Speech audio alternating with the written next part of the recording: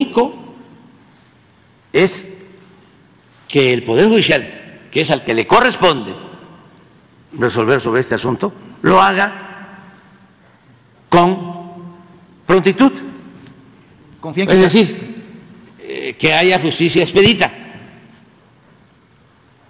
que no se vayan a seguir aplicando tácticas dilatorias y termine mi gobierno y quede este asunto ahí pendiente.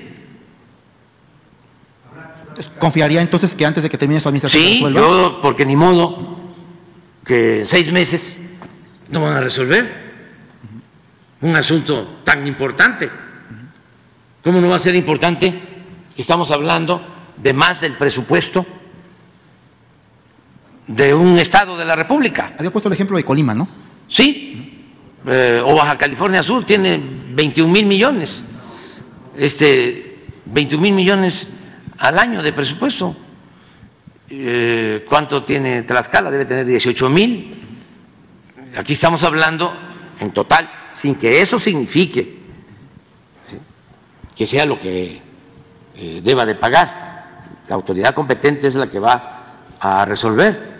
Pero estamos hablando de un monto, en lo general, de 63 mil millones de pesos.